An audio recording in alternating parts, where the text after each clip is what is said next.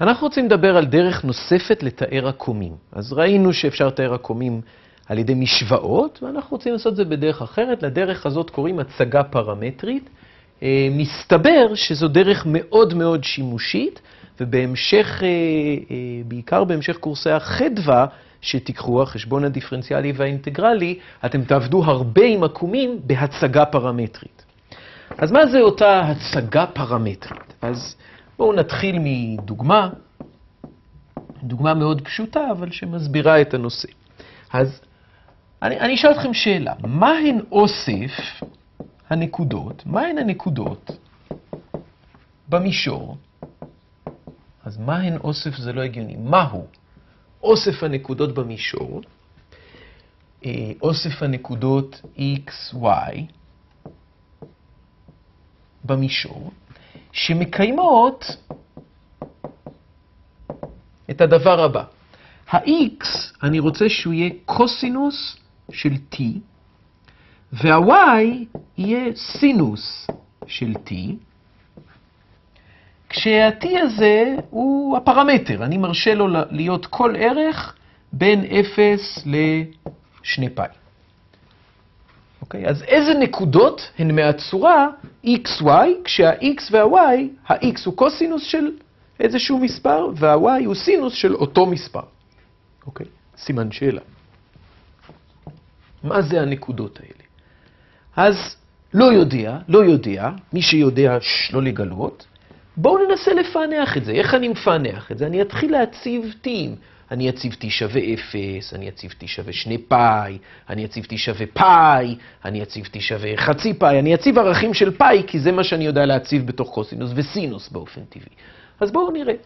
אז אני אכתוב את זה שוב פה, x שווה קוסינוס t ו-y שווה סינוס t. אני רוצה לפענח את זה, ו-t אמרנו בין 0 ל-2 פאי. אז בואו נראה. עבור t שווה 0, איזה נקודה אני מקבל? אני מקבל את הנקודה קוסינוס 0 וסינוס 0. קוסינוס של 0 זה 1, סינוס של 0 זה 0. זאת הנקודה שאני מקבל. אז בואו ניקח כבר, נתחיל לשרבט. הנה מערכת הצירים xy שלנו. ב-t שווה 0 אני מקבל פה נקודה, את הנקודה 1.0. זה מה שאני מקבל ברגע t שווה 0. אני לא סתם נפלט לי עכשיו ברגע t שווה 0, על ה-t הזה, על הפרמטר, חושבים הרבה פעמים כעל הזמן. כלומר, הזמן פה מתחיל ב-0 והולך עד 2 פאי, לכן קוראים לו t אגב, מלשון time. אז זה מה שאני מקבל עבור t שווה 0. מה אני מקבל למשל עבור t שווה פאי חלקי 2? אז קוסינוס של פאי חלקי 2 זה 0. כולם זוכרים את הפונקציות הטריגונומטריות, נכון? זה חשוב. סינוס של פאי חלקי 2 זה 1. אז אני מקבל את הנקודה פה, 0.1. זה מה שאני מקבל ב-t, שהוא פאי חצי. מה קורה אם אני מציב t שווה פאי? עבור t שווה פאי, נקבל קוסינוס של פאי זה שוב 0, סינוס של פאי זה מינוס 1. כן, אני לא למדתי ברייקדנס. למה עשיתי ככה עכשיו? נכון, הגרף של סינוס. אז בפאי זה מינוס 1, אז אני מקבל את הנקודה הזאת. אה, מינוס 1, 0. דיברתי שטויות, נכון? מה עשיתי? t שווה פאי. מה? כן, הקוסינוס הוא... או, וואה. ישר לפטר אותי. הקוסינוס, הקוסינוס מתחיל ב-1, יורד למינוס 1 בפאי. הסינוס של פאי זה כמובן 0. ברור, איזה שטויות אמרתי. ידעתי אבל שאני רוצה לקבל פה, מזל. אוקיי, מה קורה כש-t שווה עבור t שווה 3 פאי חלקי 2? אני מקפץ פה בקפיצות של חצי פאי כדי להתחיל להבין את הנושא. נקבל. עכשיו, בשלושה פאי חלקי 2, הקוסינוס מתאפס, והפעם הסינוס הוא מינוס 1. אני מקבל את הנקודה הזאת. אז זה 0 מינוס 1. כולם מסכימים? בסדר? איך לא קפצתם כשכתבת טוב? אוקיי. אז אה, אוקיי, מה קורה ב-t שווה 2 פאי אגב? ב-2 פאי זה כמו ב-t שווה 0, נכון? זה חוזר למצב הזה.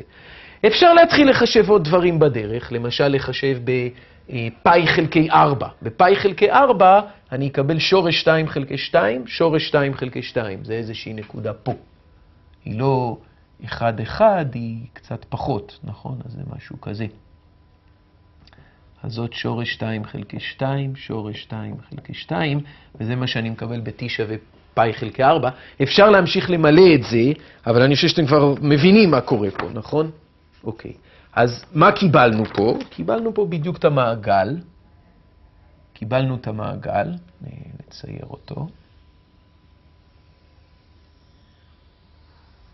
אוקיי, קיבלנו את המעגל. אז אה, אה, קיבלנו את מעגל היחידה.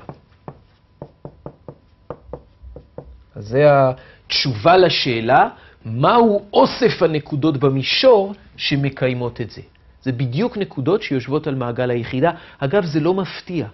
ככה הגדרנו את הפונקציות קוסינוס וסינוס. כשהגדרנו בהתחלה, בהתחלה של הפרק על טריגונומטריה, הגדרנו קוסינוס וסינוס. איך עשינו את זה?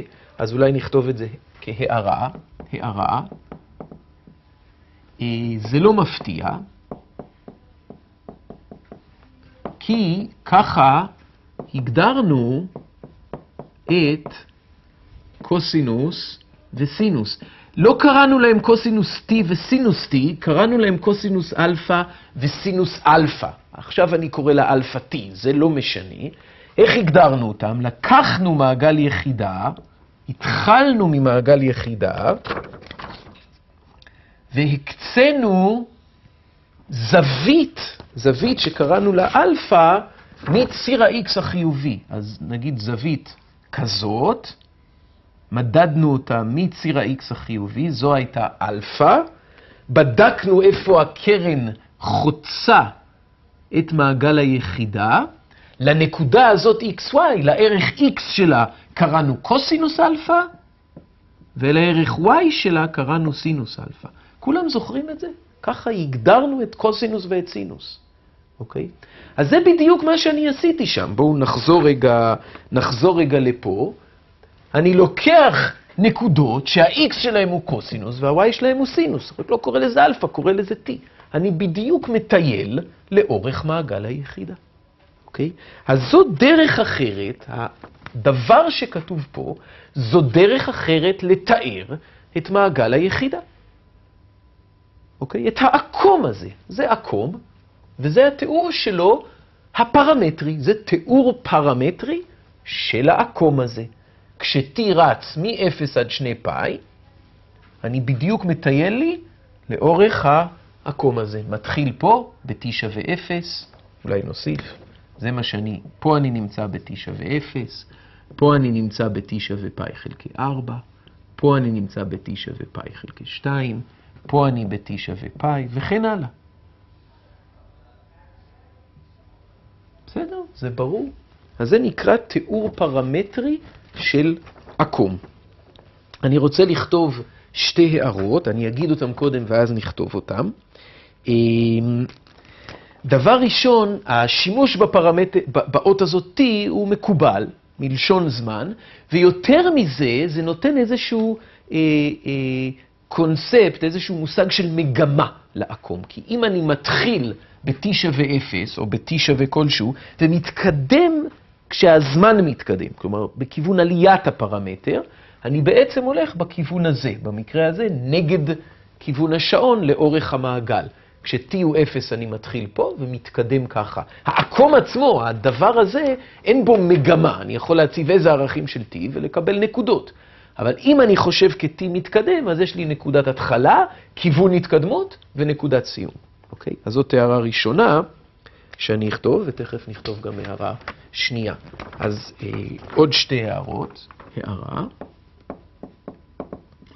אחד, מקובל, אך לא חובה, לקרוא לפרמטר בהצגה הפרמטר, t, מלשון time. מלשון time, שזה זמן באנגלית. אמ, באופן זה, לעקום המוצג בצורה פרמטרית, כמו שעשינו, קוסינוס T, סינוס T, יש גם מגמה. מגמה זה כיוון עליית הפרמטר, יש לו כיוון. אולי נכתוב בסוגריים, כיוון עליית הפרמטר. ככל ש-T גדל, אני מתקדם לאורך העקום. הערה שנייה, נקודות על העקום הפרמטרי, פרמטרי אה, x שווה קוסינוס t, y שווה סינוס t, מקיימות, מה הן מקיימות? הן מקיימות שה-x בריבוע ועוד y בריבוע, אולי נכתוב את זה ככה, שנייה, מקיימות x בריבוע ועוד y בריבוע, מה זה x בריבוע ועוד y בריבוע? x זה קוסינוס t ו-y זה סינוס t. אז פה כתוב קוסינוס בריבוע t ועוד סינוס בריבוע t. ולמה זה שווה? כמובן, לאחד. אז נקודות על העקום הפרמטרי מקיימות ש-x בריבוע ועוד y בריבוע שלהן, נקודות x, y, על העקום הזה, מקיימות שה-x בריבוע ועוד ה-y בריבוע שווה 1. וזאת בדיוק המשוואה של מעגל, אוקיי? כלומר, זה לא שבניתי פה משהו מופרך, זה לא שיש פתאום שתי, שני דברים שונים לגמרי ביניהם קשר, יש ביניהם קשר. הקשר הוא בדיוק שהמשוואה בדיוק קונסיסטנטית עם ההגדרה הפרמטרית הזאת, שזו משוואת אה, המעגל, מעגל היחידה, המעגל ברדיוס אחד, שהוא הקום הזה, אוקיי? אז לפעמים יהיו עקומים שנדע לתאר אותם גם על ידי משוואות וגם באופן פרמטרי, ואז כמובן צריכה להיות הלימה בין התיאור הפרמטרי לתיאור על ידי משוואה. אוקיי, אמ, בקליפ הבא אני רוצה לתאר עוד כל מיני אה, עקומים פרמטריים במישור, זאת, הייתה בסך הכל דוגמה ראשונה, גם להגדיר מה, מה הכוונה בצורה יותר מדויקת כשאומרים עקום פרמטרי, ולתת דוגמאות ולשים לב לטיפה, אה, לשים לב לכמה הבחנות, כמה דברים שיכולים לקרות, כל זה בקליפ הבא.